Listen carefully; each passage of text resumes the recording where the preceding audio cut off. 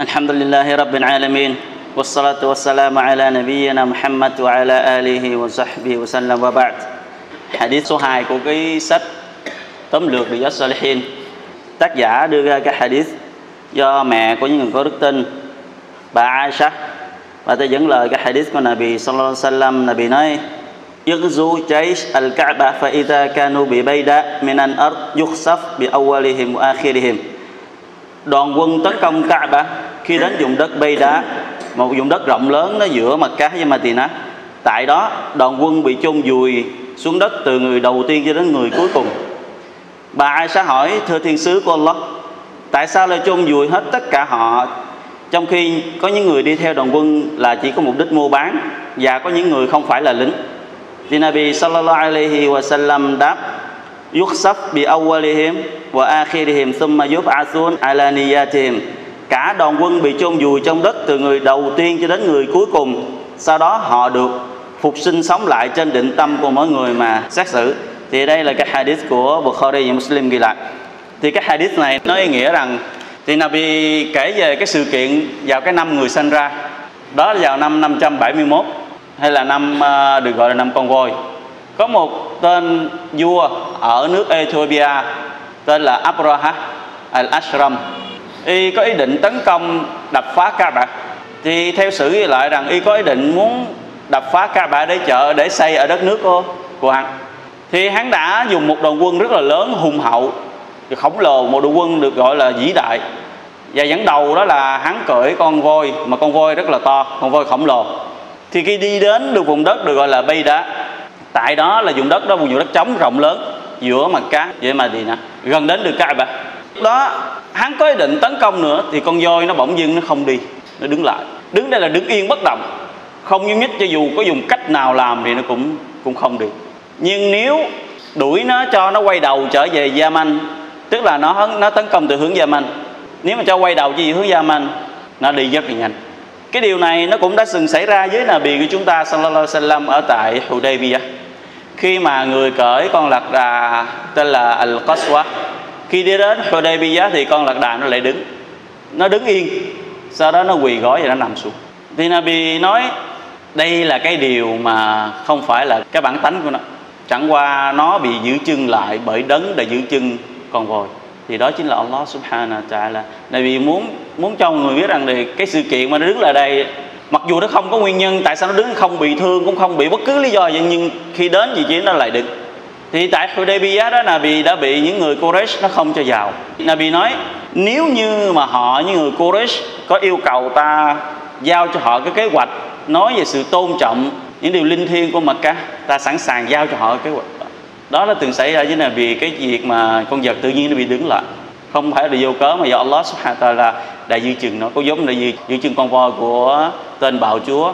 Abraha là đã muốn tấn công tiêu diệt tàn phá cả bà thì chỗ này là ngạc nhiên. Ngạc nhiên một điều đó là tại sao mà Nabi sallallahu alaihi wasallam báo cho biết rằng Allah là tiêu diệt sạch. Cái đám người tấn công đó, đó họ bị Allah subhanahu wa ta'ala tiêu diệt hết tất cả cả đồng quân. Từ người đầu tiên cho đến cuối cùng không ai còn sống. Và bị chôn vùi tại khu vực đó. giống như Allah subhanahu wa ta'ala miêu tả ở chương Al-Fil فَجَعَلَهُمْ كَأَصْفٍ مَأْكُولٍ và bọn họ đã bị chết la liệt cũng giống như những cái cọng gà khô sau mùa gặt hái nghĩa là gà giống như chúng ta thấy một cái tưởng tượng mà khi một cái đám ruộng sau khi gặt hái xong á chỉ còn lại trơ lên những cái cọng gạ hoặc là một cái đám cỏ lùa động vật vào đó ăn ăn và nó trơ và nó tan xác và nó chúng dẫm đạp lên nát hết cả cái vùng đất đó. thì cái nhóm người tấn công Kaaba thời đó cái hình ảnh tương tự như vậy. Allah Taala miêu tả hình ảnh tương tự. Thì cái chỗ này là tại sao Allah lại giết họ? Giết sạch. Nó không chừa họ, họ ai? Trong khi trong số họ không phải tất cả là lính. Cái đoàn quân này nó đi nó nó nó khởi binh từ hướng Yemen qua nó đi với lượng hùng hậu. Trong đó không phải tất cả những người tham gia đều là lính. Trong đó có những người họ đi với mục đích là mua bán tức là họ tháp tùng đi cùng để họ kinh doanh cho những người trong lính, trong đoàn quân này chẳng hạn. Hoặc có những người họ đi vì mục đích khác, có thể tháp tùng đi cùng một chuyến đi, nhưng họ không phải mục đích là tấn công. Vậy tại sao Allah là tiêu diệt sạch họ? Allah không chừa một ai trong số họ. Thì cái điều này chúng ta cần phải suy nghĩ, cũng ngạc nhiên. Ai sáng ngạc nhiên điều đó? Là vì nói rằng họ sẽ bị diệt sạch. Sau đó họ sẽ phục sinh cho lại. Và mỗi một người sẽ được dựa trên cái định tâm mình đã định tâm đến đó để mục đích gì? Allah sẽ ban thưởng cái nguyên nhân mà làm cho những người kia bị tiêu diệt là tại vì họ biết rõ cái nhóm người quân lính đó, đó đi đến là đập phá Kaaba mà họ vẫn đi theo. Trong khi Kaaba là một cái nơi một cái ngôi nhà của Allah linh thiêng Allah bảo vệ nó. Cái ngôi nhà này nó được xây bởi hai cha con của Nabi Ibrahim và Ismail alaihi salam khi mà cả hai cha con xây xây dựng cái nằm bóng của Kaaba họ đặt lên cái nền móng cho họ xây dựng những cái cục đá mà họ khiêng đến đặt lên đó thì họ đã cầu xin cả hai cha con cầu xin. Rabbana taqabbal minna, innaka antas samiun alim. Lại thượng đế của bầy tôi, xin ngài hãy chấp nhận cái việc làm này, hãy chấp nhận cái sự cống hiến xây dựng này của hai cha con bầy tôi. Ngài đến hằng nghe. Này bị Ibrahim cầu xin. Cho nên Kaaba, nó là cái nơi linh thiêng Allah bảo vệ. Và Allah subhanahu wa ta'ala cảnh báo ở một chương kinh khác.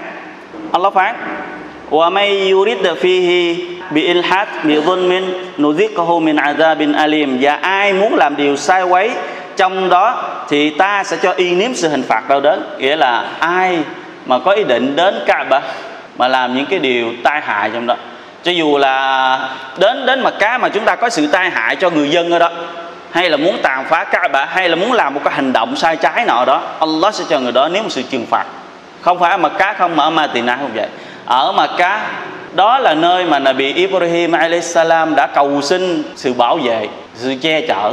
Và Allah phán tất cả những ai mà vào được Mecca là những người được bình an. Kể cả Nabi của chúng ta khi mà trở về giải phóng à, Makkah Nabi cũng không cho phép giết người vô cớ. Nabi nói tất cả những ai mà đi vào nhà của mình là những người bình an. Tất cả những ai đi vào Masjid Haram là những người bình an tất cả những ai buông dục khí, đó là những người bình an. Cho nên, những cái hành động xấu mà đến đó là một điều Allah sẽ là đấng giám sát và ngài sẽ tiêu diệt cái người đó và ngài sẽ cho người đó một sự trừng phạt cực hình đạo đức. Thì cái điều này nó cũng mang với cái nghĩa cùng với cái hadith trước của chúng ta, đó là những innama na'malu binniyat và innama likulli imrin ma tất cả việc làm nó đều có định tâm và mỗi người sẽ được điều mình đã định tâm. Thì cho nên chúng ta sẽ ngạc nhiên, có người tại sao mà khi khi mà Allah trừng phạt Allah là không chừa người khác trong khi những khác không có tội. Điều này chúng ta cần phải nhớ. Đây là quy luật của Allah từ khi Allah tạo hóa cho đến ngày đến ngày tận thế. Khi mà một xóm làng hay một tập thể hay là một khu vực nếu như cái điều ác á, nó xảy ra nhiều hơn cái điều thiện mà cái thiện nó trở nên bất lực không còn cản trở được cái điều ác đó thì trừng phạt sẽ đến với họ. Cũng giống như thời của Nabi Nuh.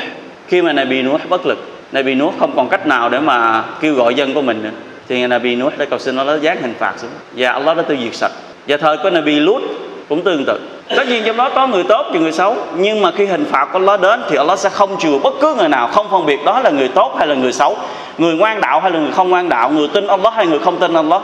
Tại vì họ cùng một nhóm, họ cùng một nơi hình phạt Allah sẽ không chừa một ai. Nhưng khi phục sinh, Allah sẽ phục sinh họ bằng cái định tâm mà họ đã làm. Và ngài sẽ biết được họ định tâm như thế nào trong lòng của họ. Cho nên đây là điều Allah khuyến cáo trong Quran mà Allah khuyến cáo rất là mạnh mẽ. Ngài phán, wattaqu fitna, la tusibanna alladhina zalamu minkum khassa, wa'lamu anna Allah shadidul iqab. Các ngươi hỡi những người có đức tin, hãy coi chừng tai họa của Allah giáng xuống. Bởi lẽ không chỉ riêng những người tội lỗi trong các ngươi sẽ phải hứng chịu, mà ngay cả các ngươi cũng phải quả lây. Các ngươi hãy biết rằng Allah rất nghiêm khắc trong việc trừng phạt. Thì chúng ta thấy rằng là gì? Tập thể của chúng ta ví dụ hay là một tập thể nào đó, mà không ai chịu đứng ra dẹp những cái điều haram hoặc không ai chịu đứng ra khuyên can những điều haram hoặc là họ sẽ yên lặng mặc họ làm gì đó thì họ làm. Thì cái đó là một điều tệ hại của cái nhóm đó. Chúng ta thấy những người mà thời ờ, thời của Israel là câu chuyện của nhóm người thứ thứ bảy. Khi mà có nhóm người của sống vùng ven biển, họ lại xâm phạm cái lệnh của Allah, đó là không được quyền săn bắt cá vào ngày thứ bảy. Thì một nhóm người trong số đó, họ lại tìm cách để họ chiếm được cái số cá của ngày thứ bảy đó. Tại vì cái cá của ngày thứ bảy nó xuất hiện một cách tràn lan đầy cả mặt biển, có thể là lấy một cách bắt được chúng một cách dễ dàng. Nhưng qua ngày hôm sau chủ nhật cho đến ngày thứ sáu, ngày hôm sau, thì cá không thấy tâm hơi đâu cả nhưng mà ngày thứ bảy nó lại xuất hiện đông cho lại. Một thử thách của Allah subhanahu wa ta'ala. Thì một nhóm nó không dằn lòng được mình không kiềm hãm được cái sự ha, cái sự ham muốn của mình thì họ đã ngày thứ sáu họ đã đặt lọc. Họ đã đặt bẫy để mà được cái số cá đó. Thì họ đào những cái bẫy để mà họ đặt. Và thì ngày thứ bảy đó cá nó vào trong lợp của họ. Thì ngày chủ nhật họ mới đến lấy cái cái lợp để về. Họ biện luận đó là chúng tôi không bắt cá của ngày thứ bảy. Chúng tôi đặt lợp của ngày thứ sáu mà. Và chúng tôi đem lợp về ngày chủ nhật mà. Họ thứ bảy chúng tôi đâu có đi đánh bắt mà đó là mưu kế để chúng ta đạt được mục đích haram. Đó là haram. Kết quả, một nhóm người khác trong nhóm của họ đã đứng ra khuyên can cái hành động đó là haram. Nhưng họ không nghe. Một nhóm khác, họ đã đến ngăn cản. Thay vì ngăn cản cái nhóm người haram thì họ lại ngăn cản cái nhóm người khuyên bảo tại sao các người ngăn cản chi cái đám người làm điều haram nó chúng không nghe đâu? Thì cái câu trả lời của nhóm người ngăn cản họ nói, chúng tôi hy vọng rằng Allah sẽ cho mở lòng cho họ nghe. Còn nếu như họ không nghe thì chúng tôi đã có câu trả lời với Allah. Nghĩa là nếu như mình đã làm, mình đã bất lực dưới cái việc làm đó với mọi khả năng, mình có làm, có hành động, có lời nói nhưng họ không được, thì chúng ta phó thác cho Allah subhanahu wa ta'ala đến trường đó, thì chúng ta sẽ tách ly họ. Thì cái nhóm người mà họ đã khuyên bảo rồi không được thì họ đã tách ly. Tách ly bằng cách họ xây một bức tường những người nào làm điều haram thì qua bên kia sống và những người nào mà không thì qua bên đây sống. Chỉ có một thời gian ngắn sau đó Allah subhanahu wa ta'ala vào một buổi sáng, Allah giáng hình phạt của Ngài xuống làm cho cái đám người mà đã nghịch là Ngài, tất cả họ biến thành khỉ và heo. Đó là sự trừng phạt của Allah subhanahu wa ta'ala. Nếu chúng ta không không đồng tình với việc làm haram đó, thì chúng ta cần phải có một khoảng cách với họ, đi nơi khác sống hoặc là có một cái ranh giới nhất định đối với họ, không có sống trà trộn với họ. Khi hình phạt của Allah xuống thì chúng ta bình an. Thì nhóm người đó, Allah chỉ trừng phạt những người làm điều haram thôi. Còn có nhóm người kia, họ được bình an ở bên đây bức tường. Chỉ có nhóm người bên kia bức tường họ bị trừng phạt. Thì nếu như một tập thể, đây là một lời răng dạy của Allah subhanahu wa ta'ala, nếu như một tập thể mà không ai chịu đứng lên ngăn cản những việc hào haram, đứng lên không chịu có sự hành động đối với những điều haram mà để cho nó tràn lan trong cái xóm nghiền của mình và trong gia đình của mình hoặc là trong khu vực mình ở. Và cái thiện nó lại bất lực với cái điều đó nữa. Thì hình phạt của Allah subhanahu wa ta'ala sẽ không còn chờ đợi với người đó. Nó sẽ đến trong một ngày nào đó. Và đó là quy tắc và quy luật của Allah subhanahu wa ta'ala trong tạo hóa con ạ. À. và đây là bằng chứng trong cái điều đó. Một đoàn quân tấn công không phải họ là lính hết có những người với ý định này, những người ý định kia chỉ tháp cùng đi cùng, nhưng họ bị trừng phạt tại vì họ biết được cái kế hoạch của đoàn quân này là đi đàn đập phá ca bả mà họ vẫn đi cùng. Nghĩa là khi chúng ta biết một nhóm người nó làm điều haram, chúng ta cần phải có ranh giới với họ, không đi cùng với họ. Nếu chúng ta tháp cùng với họ mà nếu trừng phạt của nó xuống thì chúng ta sẽ hòa lây cùng với cái sự trừng phạt đó. Ranh giới rõ ràng, haram của Allah là chúng ta không, lệnh cấm của Allah chúng ta không được xem thường mặc dù chúng ta vô tội về cái hành động của họ, nhưng khi hình phạt không trừ một ai. Đó cũng là cái ý nghĩa của cái câu kinh ấy, của cái hadith trước mà Nabi nói, mỗi một việc làm đều có định tâm trong đó, và mỗi một người chỉ được thứ mình đã định tâm nếu như mình không có định tâm xâm chiếm Kaaba, thì Allah sẽ sẽ không trừng phạt chúng ta bằng cái sự trừng phạt đó. Ở ngày kỳ mà còn hiện ở tuần già thì trừng phạt của Allah không chừa cho cho những người nào thấp cùng cùng với những người đó. Thì đây là bài học của chúng ta. Cần phải có ranh giới rõ ràng với những điều haram và những người nào làm điều haram. Không cùng với họ, không trà trộn với họ, không lẫn lộn với họ. Chúng ta với họ phải có ranh giới rõ ràng. Còn nếu như chúng ta không có ranh giới rõ ràng với họ, thì coi chừng hình phạt của Allah sẽ đến bất cứ lúc nào. Và khi mà nó giáng xuống, không chừa một ai. Không chừa người. Tôi, giống nói là tôi là người tốt, tôi là người xấu, tôi người này, tôi là người kia. Không bao giờ Allah chừa lại cho những người đó. Tại vì họ bất lực rồi. Thì cầu xin Allah subhanahu wa ta'ala bảo vệ chúng ta khỏi sự trừng phạt của ngài. Và cầu xin Allah subhanahu wa ta'ala bảo vệ chúng ta khỏi cơn giận của ngài. Và cầu xin Allah ta'ala luôn bảo vệ chúng ta bằng cái rahmat của ngài. Và cái rahmat của Allah, hãy biết rằng cái rahmat của Allah luôn đi trước cơn giận của ngài nó luôn đi trước cái cơn giận của Allah subhanahu wa ta'ala, cho nên ngài không dội trừng phạt con người ở ngay cuộc sống rình già này, mà ngài sẽ là đấng hạ liêm, ngài sẽ nhẫn nhịn và ngài sẽ chờ đợi. Mong rằng một ngày nào đó người đó sẽ quay đầu. Allah chờ đợi điều đó. Nhưng người đó không chịu quay đầu thì Allah sẽ không bao giờ cho người đó cơ hội nào khi mà cái chết nó đã đến. Mọi thứ được kết thúc. Thì cầu xin Allah ta'ala thương xót chúng ta bằng cái rahmat của ngài. Chúng ta đi đến cái hadith số 3 Cái hadith này do bà Aisha, Bà ta thuật lời lời của Nabi sallallahu alaihi wasallam đã từng nói. La hijrata ba'da al-fath, Walakin jihad wa niyyah, Wa idha fanfiru. Không còn di cư kể từ khi mặt cá đã giải phóng, Nhưng vẫn còn jihad và định tâm. Một khi các ngươi được kêu gọi jihad Thì hãy đứng lên. Hadith Bukhari và Muslim ghi. Và tác giả giải thích rằng ý nghĩa của câu không còn di cư tức là không còn di cư rời bỏ mặt cá đi đến nơi khác nữa. Bởi mặt cá nó trở thành vùng đất của Islam rồi. Thì đó là cái nội dung của cái hadith. Cái lời phân tích của Sheikh Muhammad bin Saleh Al Uthaymeen ông ta giải thích như thế này. Cái câu mà Nabi nói không còn di cư, nó không có nghĩa là phủ nhận cái giá trị của việc di cư nữa. Còn di cư nghĩa là không còn di cư rời khỏi mặt cá kể từ khi mặt cá được giải phóng nữa. Tại vì nó đã được trở thành vùng đất Islam rồi và cái bằng chứng cho việc cái di cư giá trị của nó vẫn còn mang đến cái ân phước cho cái người di cư, đó là là vì nó một cái hadith khác với nghĩa, giá trị việc di cư không chấm dứt cho đến khi sự sám hối bị cắt đứt. Và sự sám hối không bị cắt đứt cho đến khi mặt trời mọc ở hướng tây.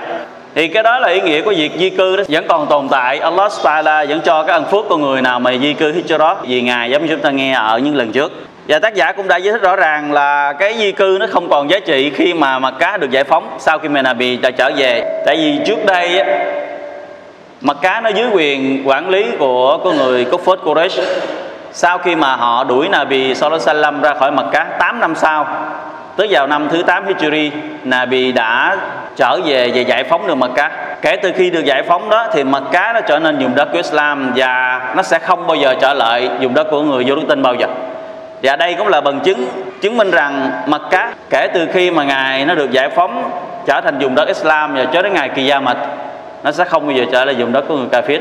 Cho đến khi nào Allah muốn thay đổi khác đi.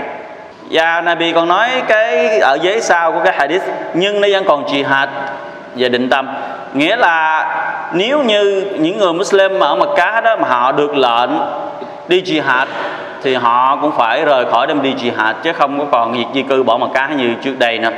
Và định tâm chỗ này, định tâm về jihad đó, nó chỉ được gọi là jihad. Khi nào cái người đi jihad với ý định muốn dương cao Islam, muốn dương cao cái lời phán của Allah, tức dương cao câu la ilaha illallah kêu gọi người Islam, thì cái người đó với mục đích đó mới gọi là jihad. Còn cái người mà đi jihad bằng mục đích ngoài cái mục đích đó, thì họ không được xem là jihad bởi vì Nabi nói ở hadith sau là khi các ngươi được gọi là jihad, thì hãy đứng dậy. Tức khi khi mà được gọi của, từ các cấp lãnh đạo, thì chúng ta hãy đứng dậy. Và đây là cũng bằng chứng có trong Quran. Nếu như có lệnh của của lãnh đạo, thì chúng ta cần phải cần phải làm theo. Cũng như được phán ở chương uh, At-Tawbah, câu 38 câu 39 Allah Taala phán với nghĩa, hỡi những người có đức tin, Tại sao khi các ngươi được gọi đi thánh chiến cho con đường chính nghĩa của Allah, thì các ngươi lại ngồi lì dưới đất như thế? Lẽ nào các ngươi hài lòng cho cuộc sống trần tục này hơn đời sau? Các ngươi hãy biết rằng vật chất của trần gian này so với đời sau chỉ là ít ỏi. Trừ phi các ngươi ra đi chinh chiến, bằng không Allah sẽ trừng trị các ngươi và sẽ ban cho các ngươi sự hình phạt đau đớn. Nhà Ngài sẽ mang đến những người khác thay thế các ngươi và các ngươi sẽ không gây hại được Ngài bất cứ điều gì với câu kinh này nghĩa là khi mà có lệnh kêu gọi jihad mà ai không đi thì Allah hỏi tại sao các ngươi là không đi chả lẽ các ngươi muốn bám lấy cuộc sống này hay sao? Trong khi đùn già này so với ngày sau, nó chẳng là cái chẳng là cái gì cả. Thứ thua cả cái cánh của con ruồi như chúng ta đã từng nghe về cái hadith đó. Và nếu như các ngươi không đi, thì Allah sẽ trừng phạt các ngươi là điều thứ nhất.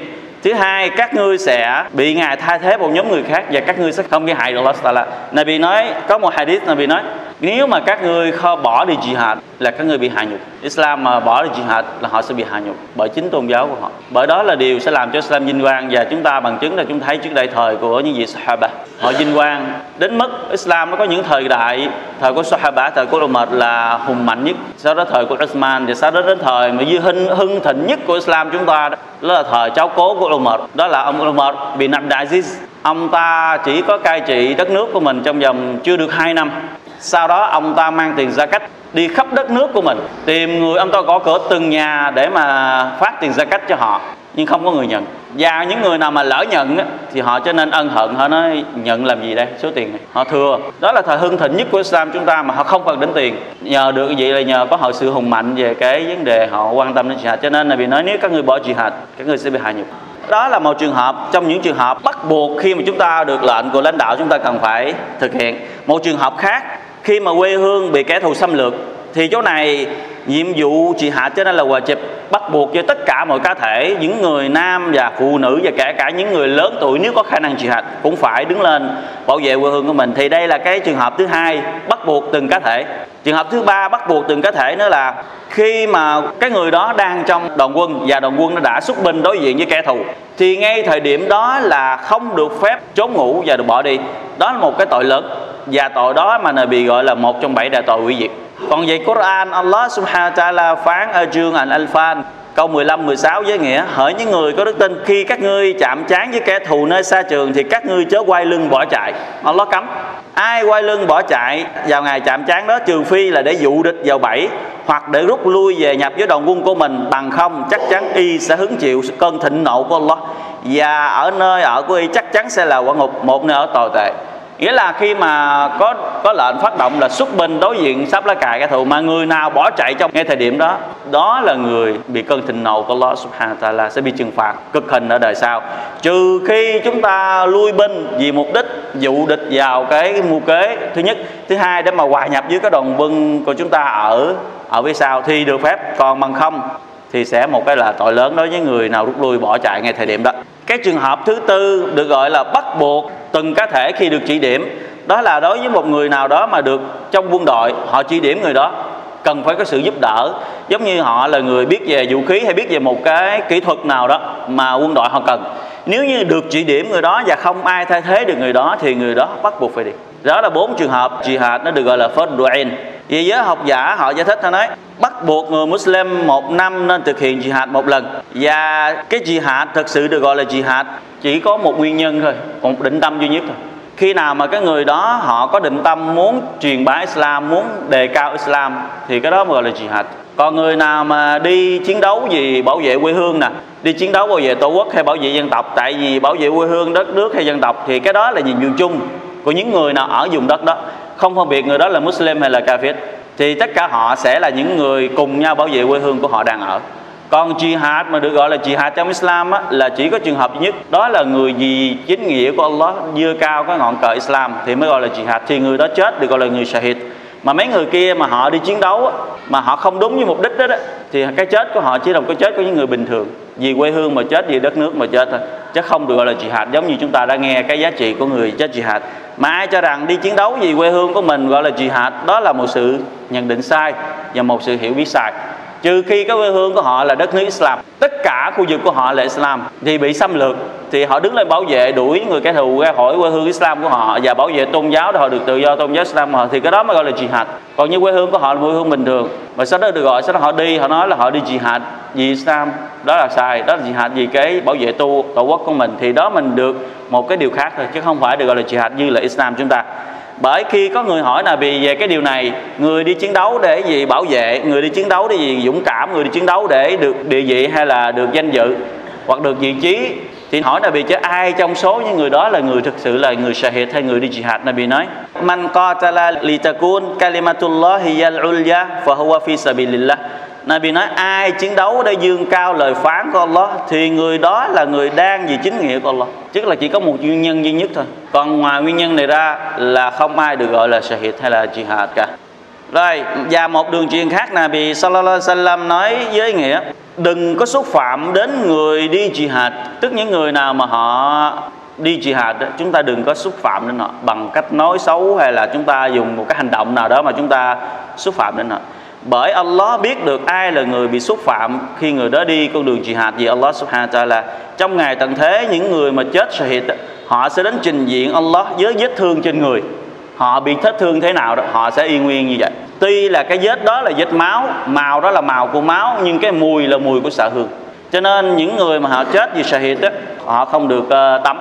Chúng thấy là người Muslim chết là chúng ta phải tắm liệm riêng người chết shahid là không có tắm. Họ chết sao chỉ quấn liệm, chỉ có liệm thôi, không tắm. Liệm họ và chôn họ. Bởi ngày sau họ sẽ lấy cái chứng cớ vết thương trên người của họ đi trình diện Allah subhanahu wa ta'ala. Allah sẽ ban thưởng cho họ. Cho nên là vì nó hadith này là cái vết thương trên người của họ tuy thấy đó là vết máu máu chảy, màu là màu máu nhưng mùi là mùi của xạ hương. Allah không cho phép chúng ta xúc phạm đến họ. Và một điều, một cái trong những phép màu mà Allah cho những người shahid thật sự họ không sống ở trong mộ của mình giống khác hơn những người khác. Những người mà bình thường khác họ chết hồn của họ sẽ cùng với thể xác của họ nơi cõi mộ. Riêng người chết shahid hồn của họ ở trên thiên đàng. Bằng chứng là thời của trận uh, trận ta trận đó là Islam chết rất nhiều tổn thương rất lớn. Những gì Sahaba trong đó có ông ờ, Ja'far anh em nào của Nabi Sallam chết thì Nabi rất đau lòng. Thì lúc đó Nabi dua cho họ rất nhiều. Nabi cầu xin cho họ rằng muốn biết thông tin về họ sau khi họ đã hy sinh. Nabi đã cầu xin cho họ đến khi Allah Ta'ala thiên khải xuống câu kinh báo rằng, các ngươi đừng có lo buồn cho những người đã hy sinh vì Allah. Các ngươi đừng tưởng rằng họ chết. Không, họ đang hưởng thụ nơi thiên đàng, nơi Allah subhanahu wa ta'ala. Họ không chết giống như chúng ta tưởng, mà họ là những người đang sống nơi hưởng thụ mà Allah dành cho họ. Có một vị Sahaba, ông ta hy sinh, ông ta đã nhắn qua lợi được Allah kể lại là hãy các người ở lại, hãy an tâm về cho chúng tôi đi. Chúng tôi không phải là những người đã chết như các người đã tưởng, mà chúng tôi là những người đang sống nơi Allah subhanahu wa ta'ala đó là người chết thì shahid, họ được một cái dinh dự nơi Allah đó điều thứ nhất. Điều thứ hai, xác của người chết shahid, họ không bị phân hủy. Allah không cho phép đất phân hủy xác của những người chết shahid. Họ còn mãi như thế. Thì đó là cái giá trị mà Allah Taala dành cho những người nào mà hy sinh một cách thật sự về là về về Islam. Và cái chữ jihad này đó, có chia làm nhiều dạng. Jihad này chúng ta khi nói jihad, thường thường chúng ta nói là cầm kiếm ở xa trường. Cái đó là ai cũng biết hết. Còn một dạng jihad khác nữa đó là jihad với chính bản thân mình kêu là jihad với nafsu jihad với cái bản ngã mình với cái ham muốn của mình cái jihad đó nó nó nó, nó nguy hiểm hơn. Cái kia chết thì mọi người nhìn thấy nhưng mà cái chết mà mọi người không nhìn thấy rồi cái chết của con tim. Những người mà họ xa ngã mà họ không biết quay đầu mà họ cần phải có một sự truyền hạ jihad nỗ lực lớn để vượt qua bản thân mình đó rất là quan trọng. Rồi là mà họ nói con đường đi đến thiên đàng của mỗi người nó phải dấp bởi một cái cục đá rất là lớn người nào vượt qua cục đá đó người đó đến thiên đàng trước mặt họ là một cục đá lớn. Mà ai vượt được cục đá đó, người đó là đến được thiên đàng. Mà cục đá đó là gì? Cục đá đó là bản ngã của họ, cái ham muốn của họ, dục vọng của họ. Đôi khi chúng ta biết salat fajr là tốt, nhưng vì một lý do ngủ nghe hay lý do để chúng ta lười. Hoặc chúng ta nghe dân dẫn lời gọi của lost salah Masjid là chúng ta biết đó là bắt buộc, nhưng vì một nguyên nhân gì đó chúng ta là không đến. Thì đó là bản ngã của mình, đó là ham muốn của mình. Hoặc mình biết những cái điều haram nào đó là mình biết rằng đó là haram, nhưng mình không vượt qua được, thì đó là bản ngã của mình thì ulama họ nói, con đường đến thiên đàng, mỗi một người bị dấp bởi một cái bản ngã đó, nó rất lớn. Ai vượt qua được nó, người đó đến được thiên đàng. Thì mình đánh thắng được mình mình được thiên đàng. Bởi cái cái sự chết chóc mà ngoài xa trường không đáng sợ, mà cái chết chóc của con tim đáng là chúng ta sợ hơn. Tại mỗi một người phải đối diện với nó.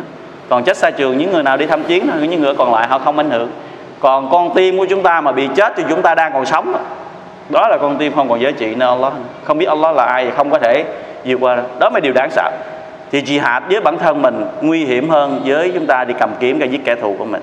Thì cầu xin Allah Taala chúng ta là những người vượt qua được tất cả mọi thứ. Cầu xin Allah Taala chúng ta làm được những gì ngài ngài bảo và cầu xin Allah Taala bảo vệ chúng ta tránh khỏi những gì ngài không ưa thích và phù hộ chúng ta luôn trên con đường ngài hài lòng. Wallahu a'lam wa sallallahu alaihi Muhammad.